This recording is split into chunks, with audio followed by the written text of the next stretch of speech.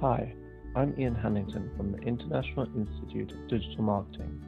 Blogs can be a very useful way to, to provide your audience with free information whilst promoting your brand. In this podcast, I'm going to explain simply how to create and build your own blog for your business. Step 1 Decide on what content you want to provide. Who do you want to read your blog? Start by brainstorming what kind of content your target market would be interested in and what content fits with your brand. Your topic should be linked to your brand and the goods and services that you are trying to sell. Step 2 Create an account with WordPress or any no- other number of blog tools. Websites like WordPress and others make it incredibly easy to start or add one to your existing company website.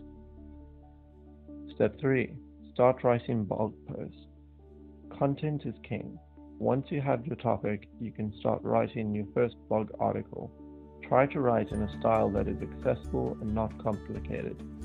Be careful of jargon, and if you must use it, then explain it the first time that you do.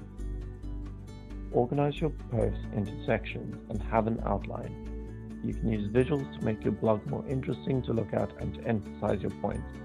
Step 4 Post regularly. The best way to grow your blog is consistency. Post as often as works for you and your audience. Step 5 Promote your posts. How will people know about a new blog unless you let them know? Remember to use your company's social media channels to promote each post. Blogs are a powerful tool. More companies should be using this tool to connect with their customers in a way that provides value apart from their main product and brings awareness to their brand. Thank you for listening. For more information on this and other digital marketing topics, please visit the digitalmarketinginstitute.org.